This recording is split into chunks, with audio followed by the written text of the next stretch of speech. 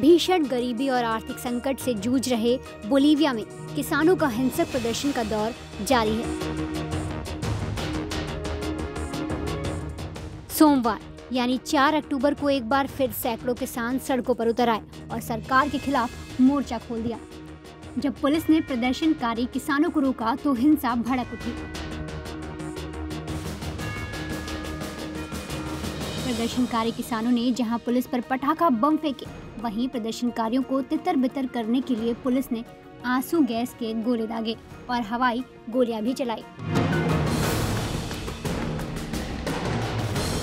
आप तस्वीरों में देख सकते हैं कि प्रदर्शनकारी किसान जहाँ पुलिस पर हमला करते हुए दिख रहे हैं, वहीं पुलिसकर्मी आँसू गैस के गोले दागते नज़र आ रहे हैं।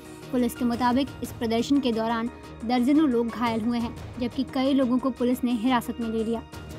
दरअसल, लापाज शहर में पिछले एक महीने से प्रदर्शन कर रहे किसान स्थानीय बाजारों में कोका के पत्तों को बेचने के लिए परमिट की मांग कर रहे हैं, लेकिन सरकार परमिट देने को तैयार नहीं। साथ ही किसानों का आरोप है कि सरकारी अधिकारी कोका उत्पादों को बेचने के लिए बने बाजारों को भी बंद कर रहे हैं, जिसकी वजह से उन्हें फ़सलों को बेचने में खासी परेशानियों का सामना करना पड़ रहा है।